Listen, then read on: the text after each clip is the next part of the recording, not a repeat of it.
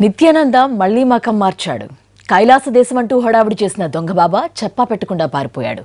ఇంతకీ నిత్యానంద ఎక్కడికెళ్ళాడు? ప్రస్తుతం ఎక్కడ ఆశ్రమం పొందుతున్నాడు? అత్యాచారాల నిందితుడు నిత్యానంద మళ్ళీ పారిపోయాడు. దొంగ పాస్పోర్టుతో దేశం విడిచి వెళ్ళిపోయిన అతడు కైలాసం నుంచి కూడా పారిపోయాడు. దీవిని కొనుగోలు చేసి దేశాన్ని తయారు చేయాలనుకున్న ప్రయత్నాలు బెడిసికొట్టడంతో ఈక్వెడార్ నుంచి హైతీకి మకాం మార్చాడు. ఈ విషయాన్ని ఈక్వెడార్ స్వయంగా ప్రకటించింది. నిత్యానంద దీవిని కొనుగోలు చేసి దేశంగా మార్చుకున్నాడనే కథనాలు వచ్చాయి ఇందుకు ఈక్వెడార్ సాయం చేసినట్లు ఆరోపణలొచ్చాయి. దీంతో అక్కడి ప్రభుత్వం స్పందించింది. నిత్యానందకు పౌరసత్వం ఇచ్చేందుకు నిరాకరించినట్లు తెలిపింది. అతడితో తమకు సంబంధమే లేదని తేల్చి చెప్పింది. తనను శరణార్థిగా గుర్తించాలన్న నిత్యానంద అభ్యర్థనను కూడా తిరస్కరించినట్టు తెలిపింది. ఈక్వెడార్ నుంచి హైతీ వెళ్ళారని వివరించింది అక్కడి ప్రభుత్వం. ఇటు భారత ప్రభుత్వం కూడా స్పందించింది. వెబ్సైట్ను ఏర్పాటు చేసినంత మాత్రాన్న దేశాన్ని నిర్మించడం కాదని తెలిపింది.